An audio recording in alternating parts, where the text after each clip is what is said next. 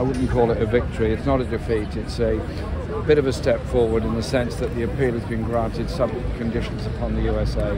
And so we continue the campaign, and above all, we appeal to friends in the United States and Australia, obviously in this country, to not just keep up but to step up the campaign in support of Julian Assange. If Julian ends up in a maximum security prison for the rest of his life, that's a defeat for every good journalist all around the world. It becomes an act of self censorship on every journalist around the world. Julian's crime, telling the truth about war crimes.